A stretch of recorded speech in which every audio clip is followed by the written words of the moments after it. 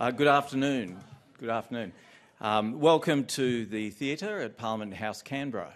Um, we meet here today where people have met for thousands of years, so I acknowledge the Ngunnawal and all the Ngambri peoples, who are the traditional custodians of the Canberra area, pay respect to the elders past and present of all Australia's Indigenous people. And I extend that respect to any Aboriginal and Torres Strait Islander people with us today in the theatre or watching online. Uh, for those that don't know me, uh, my name's Richard Pye. I'm the Clerk of the Senate. Uh, for those that do know me, I'm still Richard Pye and the Clerk of the Senate. Um, today's lecture um, in the Senate lecture series is the seventh annual lecture in honour of Harry Evans, the late Harry Evans, the longest serving Clerk of the Senate. Um, I'd like to extend a very warm welcome to members of the Evans family who have joined us here again for this special occasion. Um, I also acknowledge and welcome my immediate predecessor, Dr. Rosemary Laing, um, and I welcome all of you in our audience in person and online. Uh, today's lecture is being live streamed on the Australian Parliament House website and via the Parliament House broadcast system. It's also being Auslan interpreted and captioned. If time permits, the lecture will be followed by a short Q&A session. It's my great pleasure to introduce the eminent jurist and former Chief Justice of the High Court of Australia, the Honourable Robert French AC, to deliver the 2023 Harry Evans Lecture. Mr French served as Chief Justice from 1 September 2008 until 29 January 2017 and immediately prior to his appointment to the High Court, he served as a judge of the Federal Court of Australia for 22 years. Following his retirement from the High Court, Mr French was appointed as a non-permanent justice of the Hong Kong Court of Final Appeal, an international judge of the Singapore International Commercial Court, and a judge of the Court of Appeal of the Dubai International Financial Centre. Mr French also holds honorary positions at several universities and has served as Chancellor of the University of Western Australia since December 2017.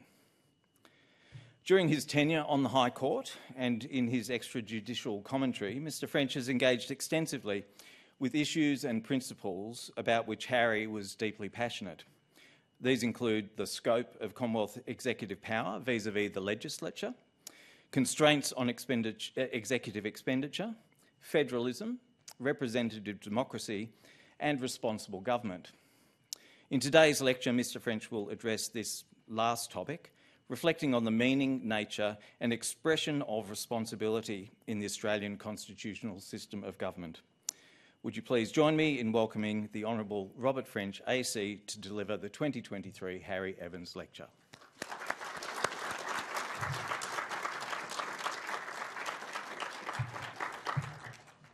Thank you very much for that uh, introduction, and uh, it's a, a, great pleasure to be here and to be here in the presence of the, uh, the Evans family. Uh, this paper is about responsibility in the working of our democratic institutions, responsibility in the constitutional sense of responsible government, and in a larger moral sense, which is indispensable to the success of our democracy and trust in its workings by the Australian people. It acknowledges and celebrates Harry Evans as a role model of responsible commitment to that democracy and to the great public office he occupied for so long. There are three key chapters of the Australian Constitution. Chapter 1, Parliament. Chapter 2, the Executive Government. And Chapter 3, the Judicature. Part 2 of Chapter 1 concerns the Senate. It was in Part 2 of Chapter 1 and in the Senate that Harry Evans made his contribution to the working of Australian democracy as Clerk of the Senate for 21 years, from 1988 to 2009. The Senate is part of the Parliament, as reflected in Section 1 of the Constitution. And as an element of the Parliament, it is part of the lawmaking machinery under the Constitution. And it's also part of the formal structure of the system of responsible ministerial government defined by the relationship between the executive government and the parliament. That relationship is uh, reflected in section 6 of the Constitution, which says you have to have at least one session of parliament during the year. Section 83 of the Constitution, which requires parliamentary approval for expenditure by the executive government of any fund or sum of money standing to the credit of the Crown. And Section 49, which deals with powers, privileges and immunities, which secures the freedom of speech and debate, which historically was a powerful instrument for defending the privileges and immunities of the Senate and the House of Representatives, and particularly freedom of speech and debate, which enables the Parliament to express opinions on the conduct of the affairs of the state. It also provides the source of the power of each chamber of the Parliament to summon witnesses or require the production of documents under pain of punishment for contempt. Responsible government means government chosen from those who have the confidence of the House of Representatives. It also requires that, for the most part, the Governor-General acts on ministerial advice. Now, these requirements are matters of convention, not spelt out in the Constitution. Harry Evans was acutely conscious of the importance of maintaining the constitutional role of the Senate in holding the executive accountable to the Parliament and the people through the committee and inquiry processes. In an article written in The Age under the headline Senate Sentinel in 2009, Michelle Grattan described him as a Canberra institution, standing up to governments of either hue, advising senators on how they can push their power, clothing parliamentary adventurism in a benign exterior with the loping gait of a weekend bushwalker. Well, his family can testify to that. I've never seen him walking. He authored short but illuminating papers on various aspects of the constitutional role of the Senate. In a paper published in 2001, he quoted two statements by framers of the Constitution which he said illustrated the rationale of the Senate. The first was by Sir Samuel Griffith, first Chief Justice of Australia, whom he characterised as a conservative. Griffith said it is accepted as a fundamental role of the Senate, of the Federation, that the law shall not be altered without the consent of the majority of the people and also a majority of the states, those speaking by their representatives, referring respectively to the House of Representatives and the Senate. The second quotation was by Dr John Cockburn from South Australia, whom he characterised as a radical Democrat. The great principle, which is an essential, I think, to federation, that the two houses should represent the people truly and should have coordinate powers, they should represent the people in two groups. One should represent the people grouped as a whole, and the other should represent them as grouped in the states. Harry Evans had a strong grip of the messy reality of our democracy at work, uh, and, he, and the fact that having the numbers does not equate to good government. Uh, in 2006, he described democracy as a necessary but not sufficient condition of good government, observing to the extent that government in the West has been a more civilised business, presumably than other places, it has not been due to democracy but something far older constitutionalism, subjecting government itself, even when power is exercised by a majority, to limitations and restraints. It is more important that the rulers know that their power is limited by enforceable rules than that they bask in the mandate of, quote, the people, unquote. His most substantial written legacy lives on in the 14th edition of Odgers' Australian Senate Practice as revised by Harry Evans. He produced six editions of the work, the 14th of which was published in 2016, two years after his death. He wrote forcefully and clearly about the role of the Senate in holding executive government to account he particularly emphasised the importance of the Senate estimates process. And he offered a very clear eyed vision of the untidiness of accountability. He said accountability is not a refined process which operates on an elevated plane above sordid politics. Accountability operates down in the swamp of politics among the crocodiles and the mosquitoes. The political wetlands sustain our cultural life and biodiversity. Without them, the desert of despotism assumes the landscape. I just love those metaphors. The confidence of the Parliament, which is a central element of responsible government, is itself only meaningful if there is public confidence in the Parliament. Trust in our public institutions may be a questioning or even sceptical trust, but trust in their basic working is fundamental. Sadly, there is evidence of diminishing levels of trust in our institutions in Australia. Earlier this year, a global report under the banner of the Edelman Trust Barometer issued uh, reflecting the results of a survey-based methodology which has been conducted in 28 countries around the world, and this was its 23rd year. The global index is based on what is called an average percent trust in NGOs, business, government and the media.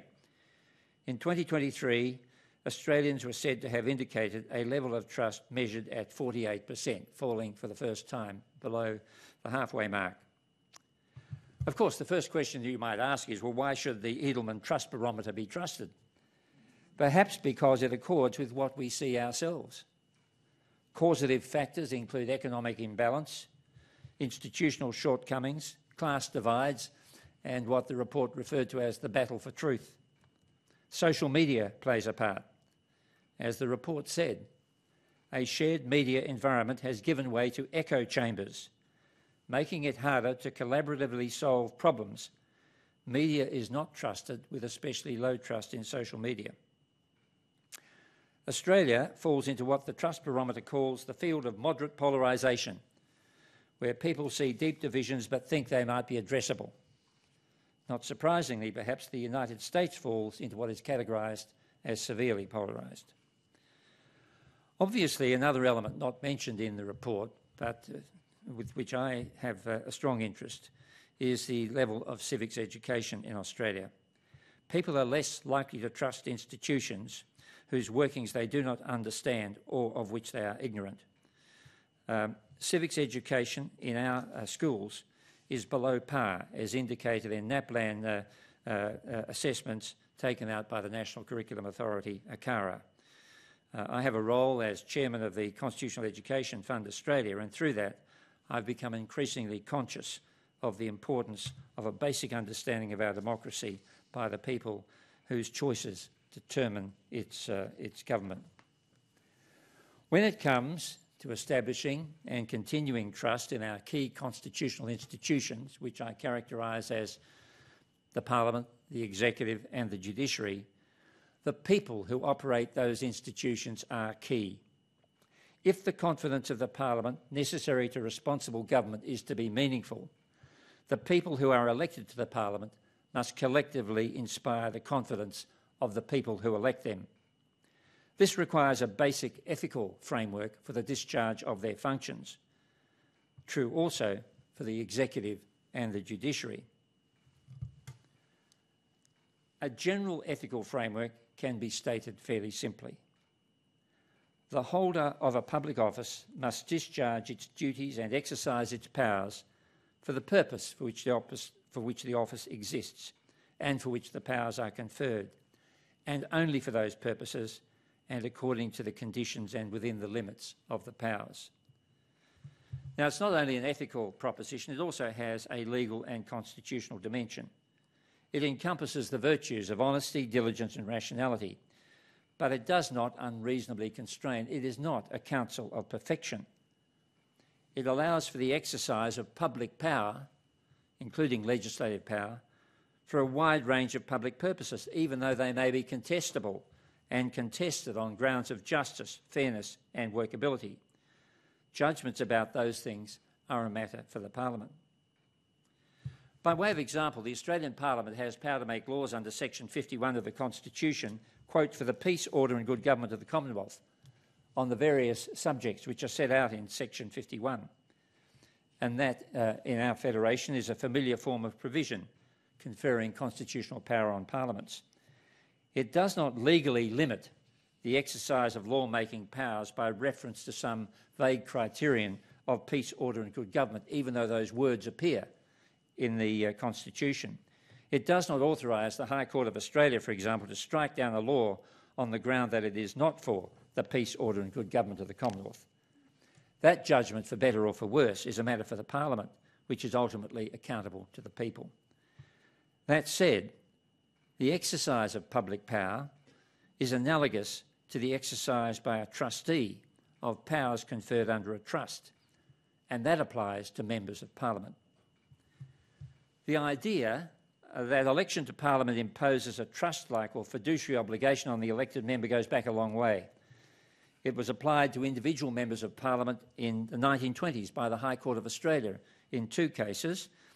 One uh, case, Horne and Barber. Mr Horne was a land agent engaged by Mr Barber to try to sell a property to the Government of Victoria. Mr Horne engaged a member of the Victorian Parliament, Mr Deaney, to act as a lobbyist for the sale, promising him a share of the commission if it went through. Mr Deaney made representations to the relevant minister about the virtues of the property, but did not tell the minister that he was acting in his capacity as a commission agent. A dispute arose between the seller of the land and the land agent about the agent's entitlement to commission. The Supreme Court of Victoria held that the commission agreement was illegal and void because of the involvement of the parliamentarian, and the High Court upheld that decision, emphasising the obligation of members of parliament as an aspect of responsible government. Sir Isaac Isaacs, who was to be appointed as the first Australian-born Governor-General, said in his judgment that when a, I'm sorry for the gendered reference, when a man becomes a Member of Parliament, he undertakes high public duties. Those duties are inseparable from the position. He cannot retain the honour and divest himself of the duties. One of the duties is that of watching on behalf of the general community the conduct of the executive, of criticising it, and if necessary, of calling it to account in the constitutional way by censure from his place in Parliament.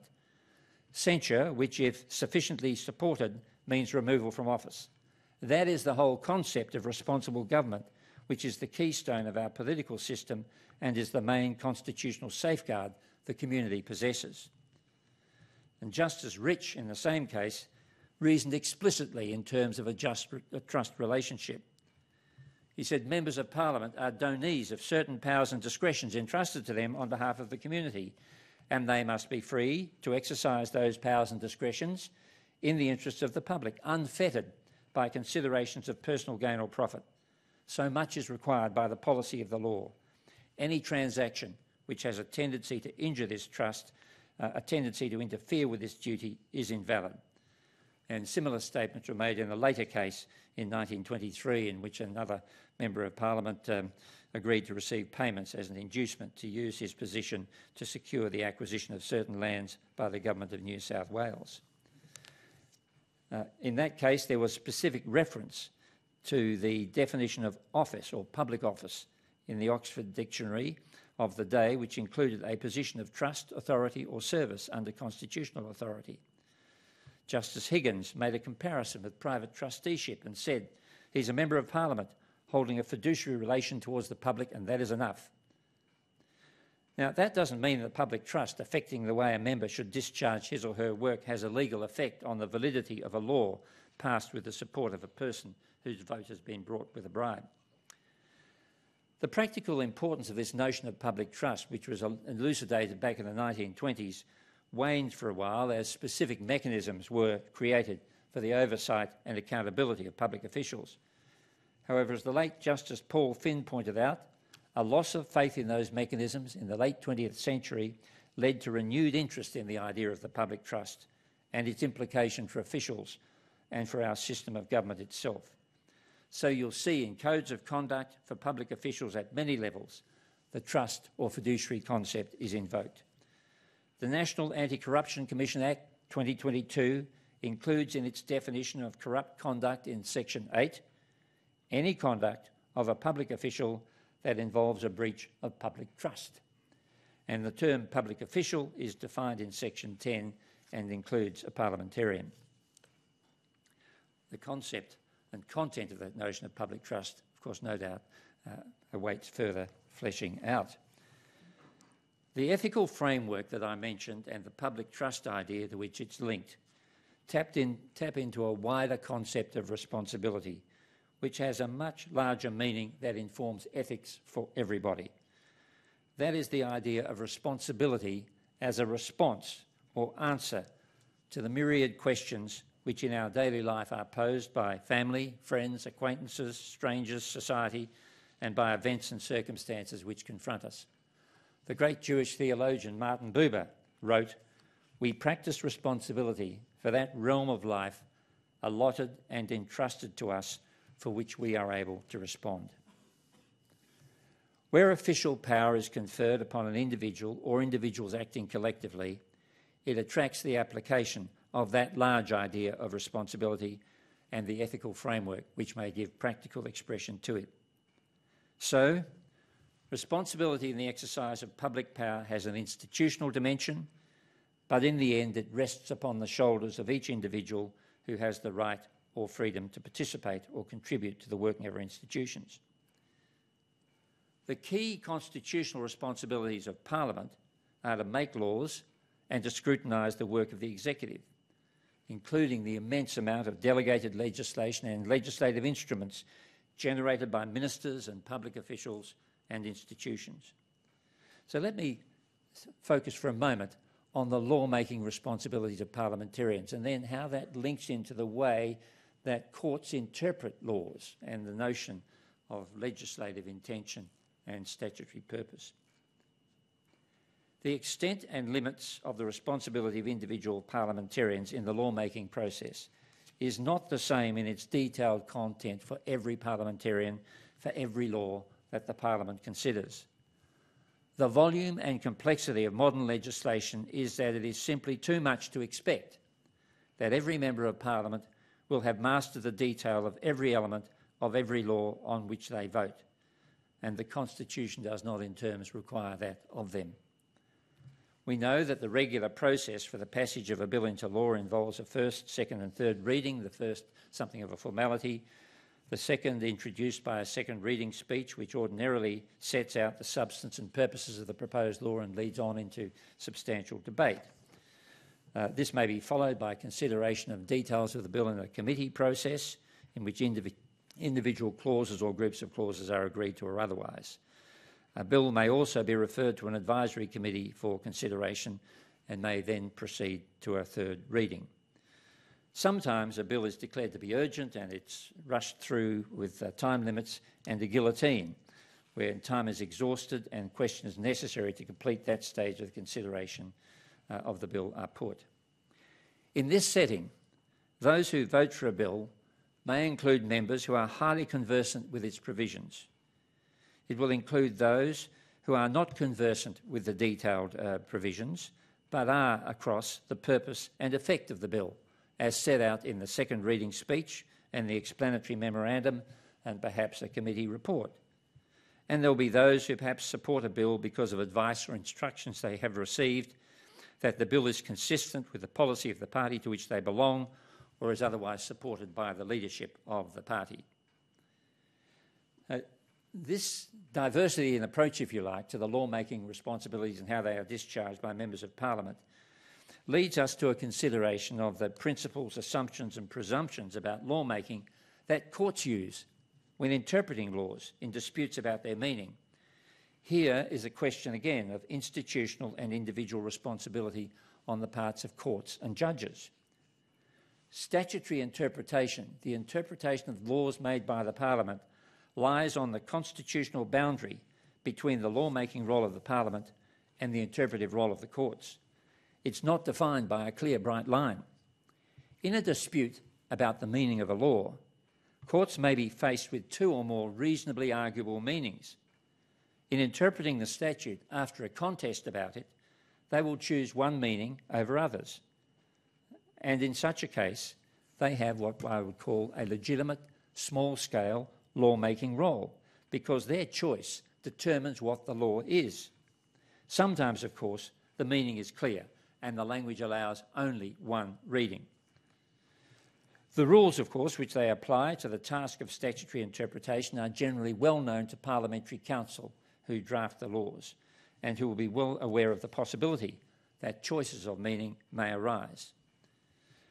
The general approach of the courts to the interpretation of a statute is to go first to the words that Parliament has used, that is the text, then to context, that is other provisions of the same law or part of a legislative scheme, and there might be a background report from a law reform commission which has given rise to the proposed law.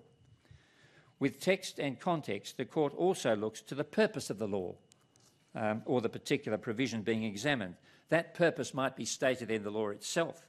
It might be apparent from the text and place it in the particular section. It may be stated in the minister's second reading speech. And the courts are directed by Commonwealth law, the Acts Interpretation Act, in section 15AA, which says, in interpreting a provision of an act, the interpretation that would best achieve the purpose or object of the act, whether or not that purpose or object is expressly stated in the act, is to be preferred to each other interpretation. So you have purposive interpretation. Of course, you get some tricky problems sometimes. One of my favourite cases is Doyle and Maypole Bakery, which was decided in the Tasmanian Supreme Court in 1981, uh, where uh, a cake shop had a lamington in the front window which had a dead blowfly on an indentation in the icing of the lamington. And the uh, seller of the uh, lamington was charged under the Public Health Act of 1962 with selling uh, um, uh, adulterated food. And the, the definition of adulterated under the Act was a food which, quote, contains a foreign substance. So the question is, is a dead blowfly lying on top of an indentation in a lamington contained within the lamington. And uh, I guess the purpose of the Act was served by a wide interpretation of contained. And the judge, who had a, a literary um, cast, uh, quoted from Alexander Pope's essay on criticism, which contained a line saying, So vast a throng the stage could ne'er contain. So there was Alexander Pope using the word contain to describe something on something. So a dead fly, dead blowfly on a lamington was contained within the lamington. And there was another precedent too, maggots on top of meat were contained in the meat. So it's a lot of interesting jurisprudence developed under that. Um, uh, none of the above, uh, of course, requires the court to try to construct an imaginary intention of the Parliament, even though we have often spoken in the past in terms of the legislative intention. The diversity of understandings which different members of Parliament may have in voting for a law, and perhaps the diversity of reasons for which they might cast their votes, suggests that for a court to first announce that it has discovered a common legislative intention is to announce that it has constructed a fiction. In a formal sense, legislative intention is said to be ascertained by the court's determination of the meaning of the law having regard to text, context, and purpose. In a case decided in 2011, six justices of the High Court said that legislative intention is not an objective collective mental state. Such a state is a fiction which serves no useful purpose. Ascertainment of legislative intention is asserted by the Court as a statement of its compliance with the rules of construction, both statutory and common law, which have been applied to reach the result that it did and which are known to parliamentary drafters and the courts. In that case, the court also had something to say about the idea of a statutory purpose, which is distinct from legislative intention. The purpose of a statute is not something which exists outside the statute. It resides in its text and structure, albeit it may be identified by reference to common law and statutory rules of interpretation. Now, in saying that, I have to say to you that there is controversy about this approach to legislative intention. There are some uh, legal academics who take a very strong view to the contrary, that it has some uh, real meaning. Uh, Jeffrey Goldsworthy is one who has written quite trenchantly on it. Um, and uh, some of the leading judges in uh, the Supreme Court of uh, the United Kingdom take a different view. What then is the responsibility of the courts when they go to interpreting the law? In making the constructional choices, that is, a choice between available meanings, the courts must stay within their constitutional boundaries. They must not trespass into the lawmaking domain of the Parliament.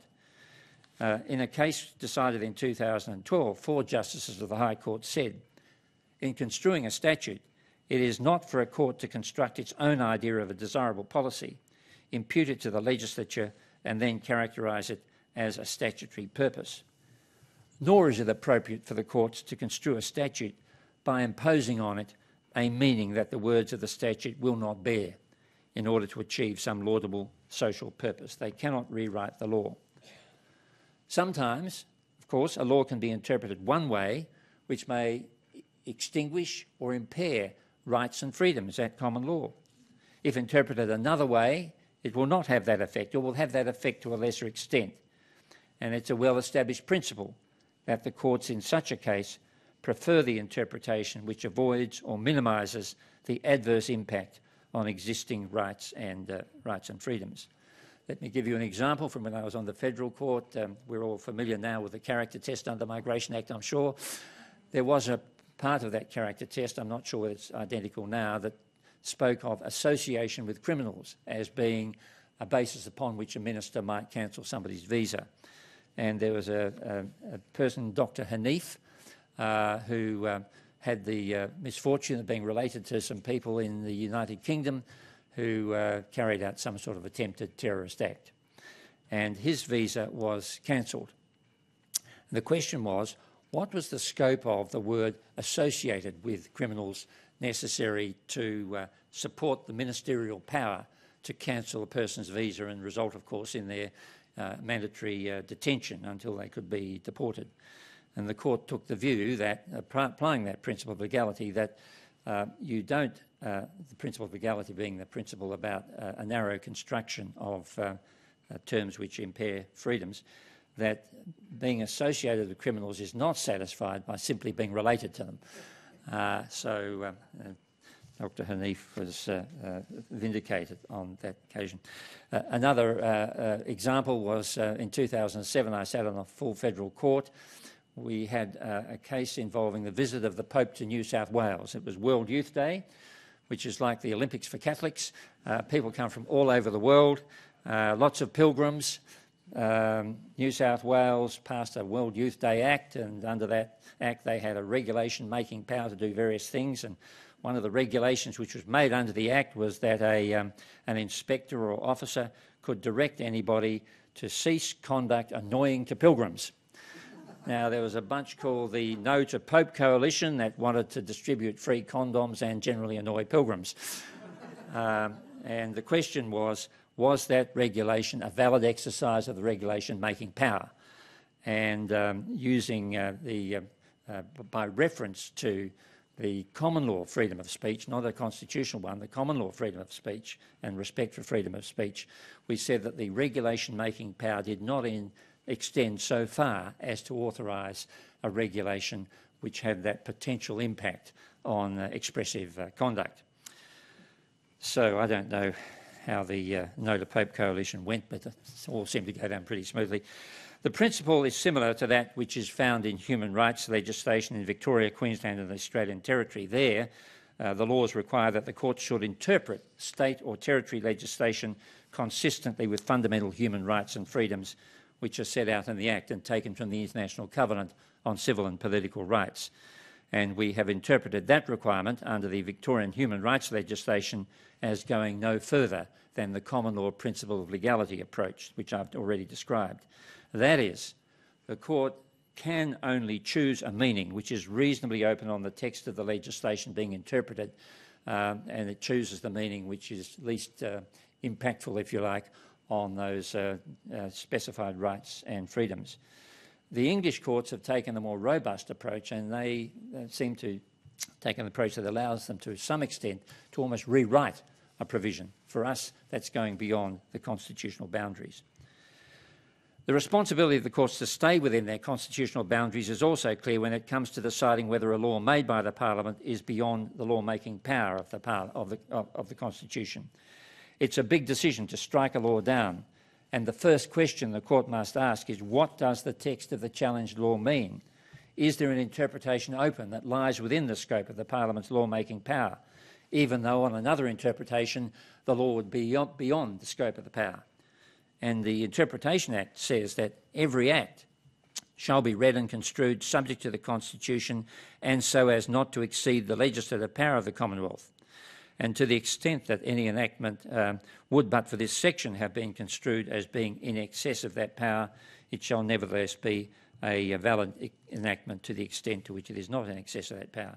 So the first task for a court in dealing with a constitutional challenge to a statutory provision, as we have seen recently in uh, the indefinite detention case, is to say what is the, uh, how do we interpret the section? Is it possible to, to, interpret the section under challenge in such a way that it falls within uh, constitutional power?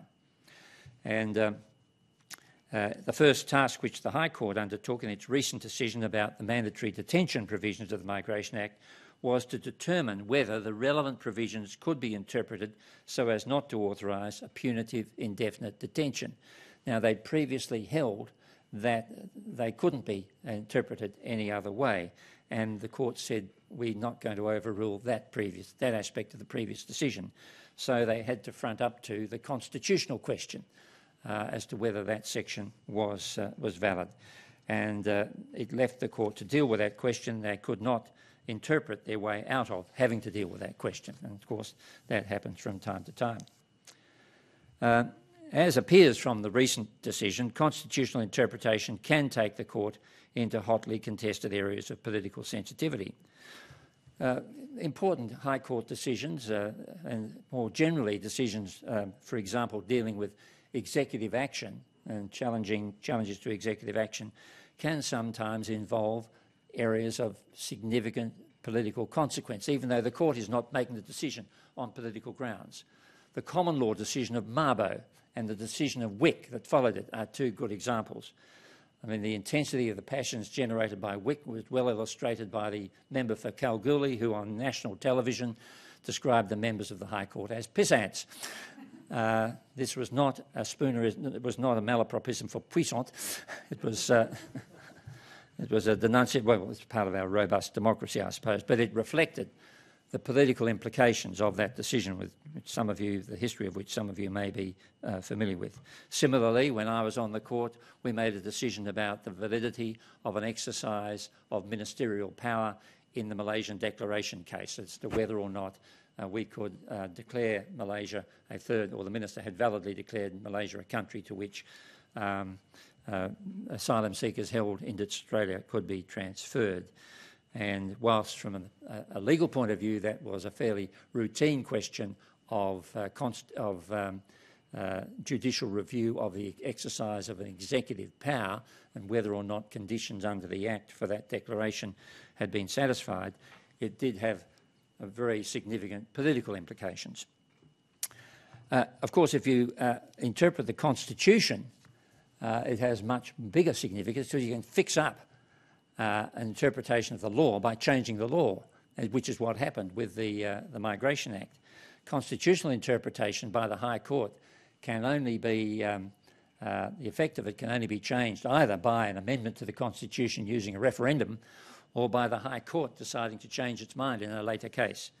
Um, so uh, uh, uh, these, are, these are areas of political sensitivity, but notwithstanding their political sensitivity, the court has the obligation to uh, uphold the rule of law, whether it is in interpretation of the Constitution or review of uh, executive action. And the court has uh, gone a long way in the what I call the judicial protection of the rule of law uh, and this is um, uh, the rule of law in relation to, again, executive action. It has in a series of cases, and legislative action, in a series of cases since 1996, the High Court has interpreted the provisions of Chapter 3 of the Constitution relating to the judicature so as to protect the institutional integrity of courts and their essential characteristics, uh, both federal, uh, federal, state and territory, from legislative intrusions. So state parliaments can't abolish the state supreme courts and they can't deprive the state supreme courts of their traditional supervisory jurisdiction over executive action, by which I mean uh, their ability to entertain challenges to executive action, which is said to be beyond the limits of, uh, of uh, executive power. The High Court itself has such a jurisdiction under Section 75.5 of the uh, Constitution. In this area, uh, in judicial review of executive action, uh, the courts have a responsibility, as with the other areas of statutory interpretation and constitutional interpretation, to stay within their boundaries. It is no part of the court's function in a particular case to decide that they would prefer the executive to have made a different decision uh, or to step into the shoes of the executive and make such a decision. Uh, And uh, in uh, an often quoted statement, uh, Justice Brennan said uh, back in 1990 that the duty and jurisdiction of the court to review administrative actions do not go beyond the declaration and enforcing of the law which determines the limits and governs the exercise of the repository's powers. In so doing, the court avoids administrative, if in so doing, the court avoids administrative injustice or error, so be it. But the court has no jurisdiction simply to cure administrative injustice or error. The merits of administrative action, to the extent that they can be distinguished from legality, are for the repository of the relevant power and subject to political control for the repository alone. Now, those words, subject to political control, are the words that pick up uh, the element of responsible government which involves parliamentary scrutiny of executive action. Generally speaking, the courts require of the executive exercising statutory powers that they comply with um, what I call the logic of the statute, so that the reasoning process of an executive decision maker exercising a statutory power must be a reasoning process, not a throw of the dice. It must be consistent with the statutory purpose based upon a correct interpretation of the statute, having regard to those things which the Parliament has required in the law uh, have to be considered, and disregarding those things which are irrelevant. And it must involve findings of fact, um, which are necessary conditions of the exercise of the, of the power. Uh, there is a, another criterion as well, um, and that is the valid exercise of power may require more than just rationality and logic, it must also require at the, at the boundaries reasonableness. The decision maker exercising a statutory power may tick all the logical boxes and yet make an unreasonable decision. Metaphorically speaking, it might be rational to use a sledgehammer to crack a peanut, but it might not be reasonable. And you can track that analogy through to uh, administrative decision making. Now, so far I've considered the role of the courts in determining cases in which it may be said that the executive government, through its various public officials and ministers, has exceeded the power conferred on it by statute, that is, by a law made by the Parliament. Now, there's another ill defined area of executive power that is more troublesome, and that is power which comes directly from the Constitution and not from a law made by the Parliament in the exercise of the lawmaking powers. And you'll see in section 61 of the Constitution that the executive power of the Commonwealth extends to the execution and maintenance of the Constitution and of the laws of the Commonwealth. So it goes beyond statutory power. And there are powers that the executive has which come directly from the, um, from the Constitution. Uh, their scope is uncertain, um, but they have been explored more recently uh, through uh, decisions about executive spending power, and earlier on in the case uh, uh, involving the uh, scope of executive power in relation to um, a non-statutory interdiction of um, asylum seekers. It's reasonably well established that what I call non-statutory executive power enables the Commonwealth to undertake executive actions appropriate to its position under the Constitution. Now that's sometimes called the nationhood power, and it also picks up prerogative powers historically accorded to the Crown under the common law, like the power to declare war, for example, and which are relevant to the functions of the Commonwealth. An important aspect of non-statutory executive power, which has come under scrutiny in the courts in recent times, has been the power of the executive to enter into contracts and to spend public money. And this question was one which concerned Harry Evans. Back in 2005, the High Court in Combet and the Commonwealth held that the government's industrial relations advertising campaign was an authorised purpose of expenditure under appropriations made by the Parliament for the Department of Employment and Workplace Relations. It was a very broad form of appropriation, and Evans observed that there was very little limitation on the purposes for which money may be spent. And having regard to the broad brush appropriations held lawful by the court, he said it is now clear that control of expenditure must be undertaken by the Parliament or not at all. But is it enough that a proposed expenditure is covered by an appropriation of money by the Parliament uh, in order to make it lawful? The answer to that question is no. The executive cannot spend money simply on the basis of a parliamentary appropriation. Parliamentary appropriation is a necessary condition of spending power, but it is not sufficient. The power to spend money, and thus the power to contract to spend money, entering into government contracts, must be found either in the Constitution itself, some source of non statutory executive power, or in a valid law made under the Constitution, in other words, a statute which authorises the expenditure for a particular purpose. And that proposition emerges from three cases decided by the High Court in 2009, 2012, and 2014. And I just mentioned them very briefly. The first was um, the validity of the Tax Bonus for Working Australians Act. Remember the the um, global financial crisis, uh, the government decided uh, that uh, fiscal stimulus was a good policy.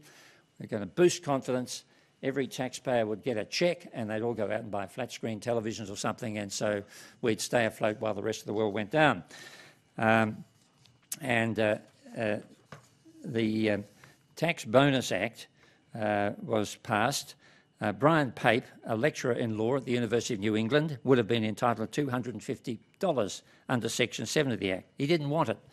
And what's more, he said that they, the Commissioner of Taxation, who was to dole out the money, uh, did not have the power to do that because the legislation was invalid. Justices Gummow, Crennan, Bell and I held that the determination by the executive government of a need for an immediate fiscal stimulus to the national economy was a valid exercise of executive power and could be supported by legislation under section 5139 of the Constitution, which is the power to make laws incidental to uh, the uh, exercise of powers by the Commonwealth. Mr Pape lost his challenge. I described him as the man who tried to bite the hand that tried to feed him.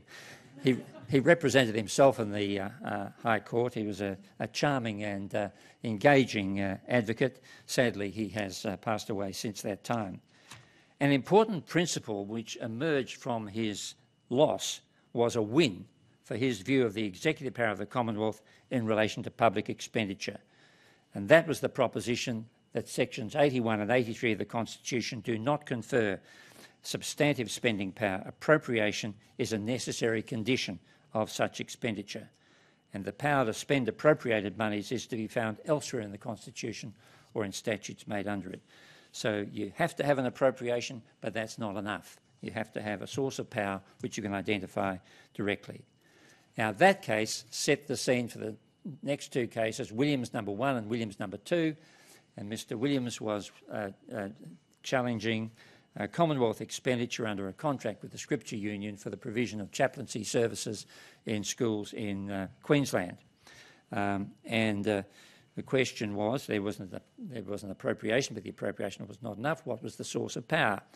So there was a, a common assumption which had existed up to that time that the executive could spend money, if it had an appropriation, on anything about which the parliament could make a law. In other words, any head of Commonwealth power. And uh, the short, the long and the short of it is that the court said no, you can't simply spend money on something about which a law might have been made, and then you have to imagine some hypothetical law which might have been made, and there might be a variety of such things. There has to be a law, or else a power derived from the Constitution itself. Well, in response to that uh, uh, decision, the Commonwealth enacted the Financial Framework Legislation Amendment Act, which was um, putting it in very broad terms, an act which said, well, every expenditure we make is supported by this law under whatever head of power of the Commonwealth uh, we can apply.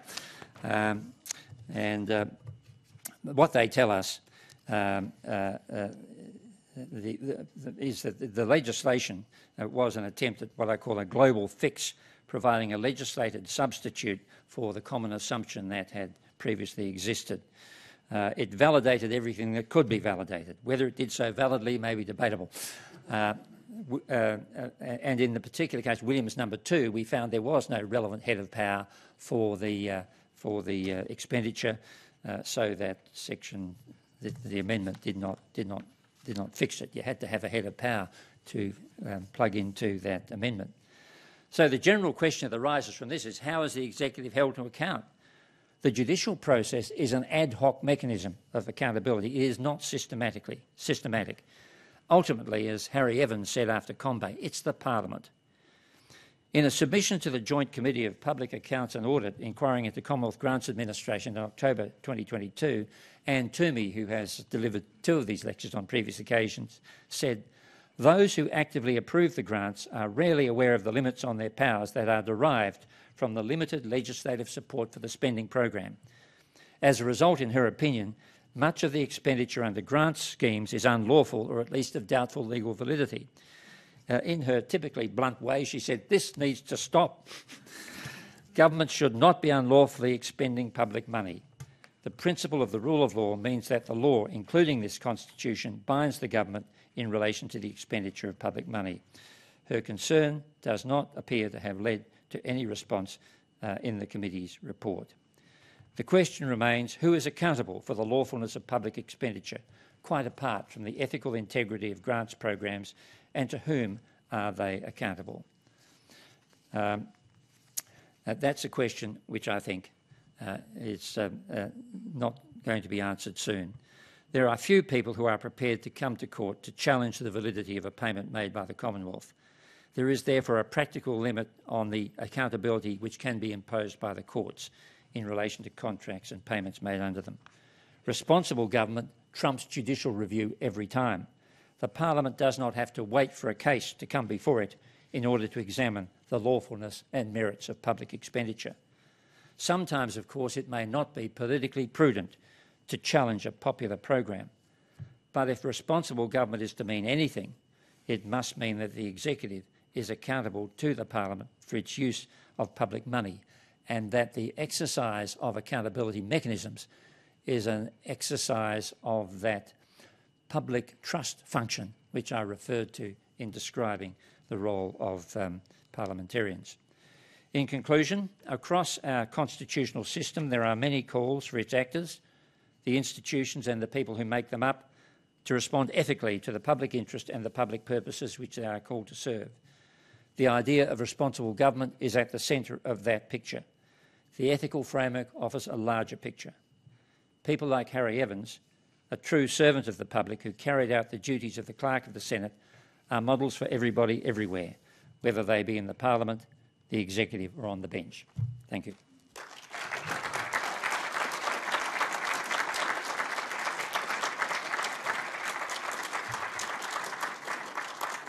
Thank you, uh, Mr. French, for your, your insightful and, and uh, entirely contemporaneous uh, observations. Um, I was expecting a, a, journey through responsible government, ethical framework, public trust. I, I wasn't expecting you to use my absolute favourite um, quote from Harry about accountability occurring down in the swamp of politics among the crocodiles and mosquitoes and we went from mosquitoes to a blowfly, um, the No to Pope Coalition and Alexander Pope. I, I really think that we got a, little bit of everything there. We do have um, uh, a little bit of time for questions and uh, we have uh, some of our staff with microphones at the, the sides of the uh, theatre if, if anyone does want to ask a question. If, if you do, I'd, I'd, hope that the questions will be short and searching rather than meandering in their, uh, their construction. Doesn't look like anyone's... Talking about question time here? One of the great things about question time is we set the clock. Um, that wasn't always the way. We do have a question um, up here. Ophelia. Uh, thank you. Is that right? Yeah, thank you for your lecture. That was really phenomenal. I'm just interested in what um, you think in terms of, you mentioned um, the circumstances in which Parliament um, considers legislation, the ind how individual members and senators examine um, legislation before they go to a vote, and um, the implications that can have further down the line for um, judicial review. I'm wondering if you think that there are um, any, there's should be stronger constitutional checks before um, things get voted on. So whether the Parliament does a sufficient job in identifying whether laws are strong enough to withstand constitutional review. Uh, I, I, think it would be um, whether you do that. I mean, there's a lot of law that is plainly uh, constitutionally uncontroversial. Uh, but um, in those, uh, I would have thought that as a matter of prudence, um, uh, the the minister, if advised, for example, takes advice that there is a constitutional question, but on balance it looks good, um, should disclose that advice to the parliament. Uh, so that uh, if the Parliament feels that that's an issue that needs to be scrutinised in debate, it can be. I imagine that uh, uh examination of constitutionality uh, um, is something that could arise ordinarily out of the process of debate with interested members, but that has to be an engaged and interested member, of course, using maybe uh, the parliamentary the, the parliamentary library or personal research assistance to look at that. There are other cases, of course, where the political imperatives of pushing a particular law through may mean that uh, constitutional concerns are, are, sidelined or the risk is taken.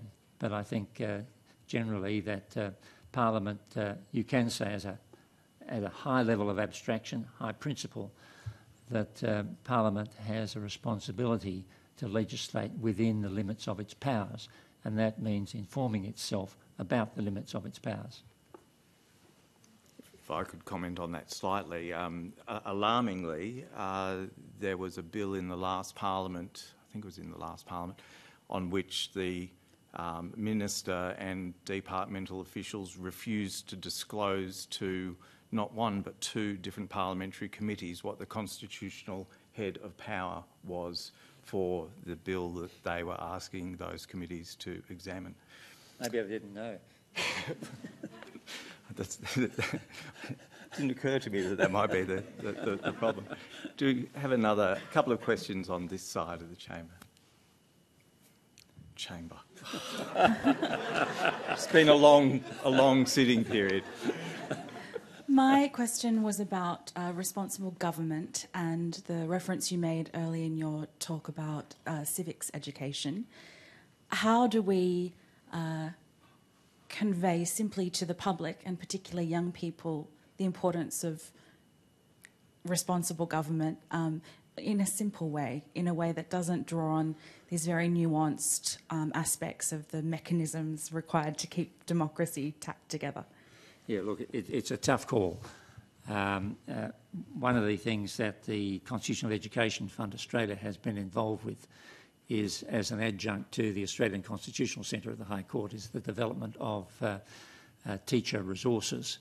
Um, and um, Anne Twomey's had a, a, strong hand in, in that development. I think they're shortly to go up. There was a final review by the Department of Education. Uh, they're shortly to go up. But just having the resources available, of course, um, which are usable by teachers, uh, is not enough. You've got to make sure that it's treated, given a priority role in the curriculum. If you look at the civics and citizenship aspect of the national curriculum put out by ACARA, it covers a range of things and it doesn't necessarily have a focus on the basic workings of our democracy. And I think that's fundamental. So that what we have to do is to, um, uh, uh, if you like, advocate for uh, uh exposure to these things from the very earliest possible stage, even you know, late primary school.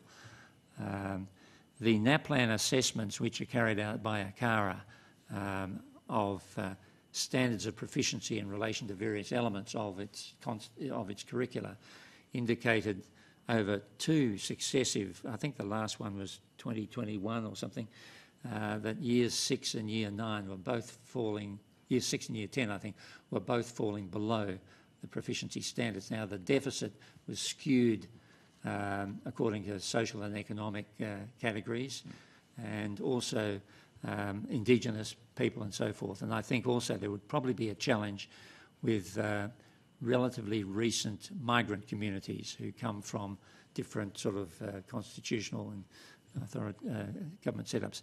Yeah, I think there's a huge job to be done there, and I think it's one of increasing urgency because we have ignorance of the basic workings of our democracy. People will pick it up from television, social media, and you get what I call the, the snake oil salesmen have room to come in and peddle the sort of nonsense that we hear from time to time. I think we did have one more question. Uh, we have time for one more question anyway, so see where the microphone lands. Thanks so much. Uh, thank you, Mr. French. I'm just very interested to hear your views on the recent developments following the NZYQ case. Um, I'm particularly interested in any commentary or insights you might be able to provide us uh, on the time delay in the High Court, um, providing its reasons following the orders that it gave, uh, and uh, the consequences of the ruling and the interplay with the, the legislative response. Um, noting, of course, that the Migration Amendment Bill was passed in one day, um, bypassing the, the process that you've outlined for us today.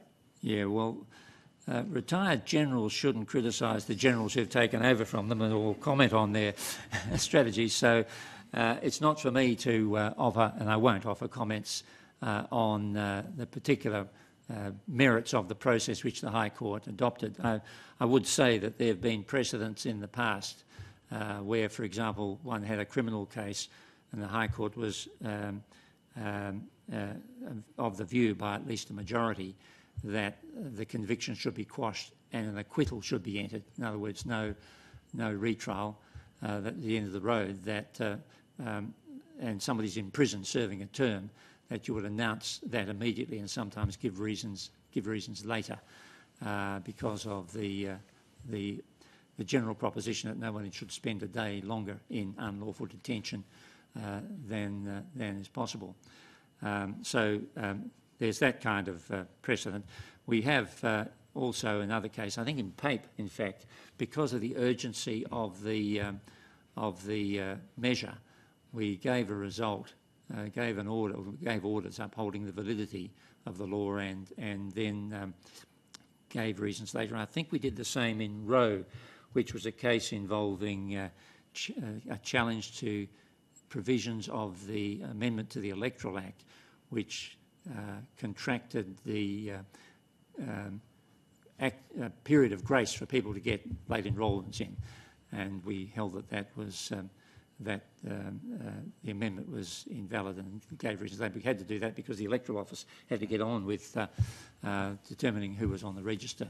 So there have been those there have been those sorts of precedents in the past with orders given and reasons delivered later. I noticed in Harry Evans' discussion of Combet, I couldn't remember whether this is right or not, he, he seemed to refer to the reasons, uh, and that I think in Combet the reasons may have been given after the decision because the question of the advertising of the uh, the uh, proposed industrial relations law was of some urgency. And I, I, don't want to comment on the processes surrounding the bill because it's a kind of political controversy. We, we um, we tried to adopt in clerkly circles the same idea that uh, retired generals don't uh, comment on the, the behaviour or, or, or uh, activities of, of uh, the current generals. So um, I appreciate Rosemary being here today, and she's always been very respectful of uh, the way in which I've attempted to run my time as clerk of the Senate. Um, that is all we, have got, um, got time for. Um, uh, a recording of this lecture and information about future lectures will be available on the Senate Lecture Series page on the APH website. That's aph.gov.au. Um, if you're not already subscribed, can I encourage you to sign up for our email subscriber list? Um, there's a sign up sheet at the exit table, or it says here you can also email us at research.sen at aph.gov.au. That concludes our formal proceedings and the 2020 Senate Lecture Series. It just remains for me to ask you to join me in again thanking Mr French for delivering today's superb lecture. Thank you.